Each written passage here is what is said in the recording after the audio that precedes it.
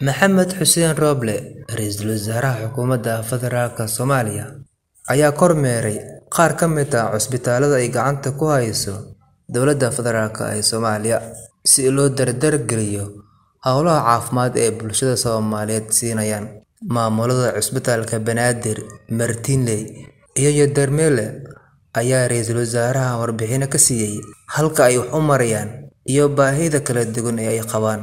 Roble ayaa maamulada iyo dhakhaatiirta ku bogaadiyay howlaha bulshada ay u hayaan, kuna dhiirigeliyay inay halkaas ka sii wadaan. waa garan karaa sektarka caafimaadka inuu muhiim yahay wasiir.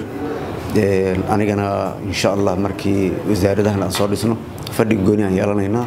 Si aan uga wada hadalno waxa budget aan haysano iyo waxa aan isbitaalaadka ama caafimaadka aan u allocate garan karno aan ugu talageli karno insha allah hambalyaa idin leeyahay agaasimaha iyo maxaa asxaabtiisa asxaabteeda marka waa soo dhowaada waa insha allah annagana waa idin garab taagannahay waana waana waana wax muhiima in mar kasta laydin yimaado saboorta laydin siiyo mid moraal ah iyo mid maxaa la dhahaa dhaqaalaba marka insha allah xukuumaddan soo dhisi doono consideration tixgelin muhiima siinaysaa hadduu alleed Maxamuud Aacad, Raadiyaha iyo Telefishinka City, Muqdisho.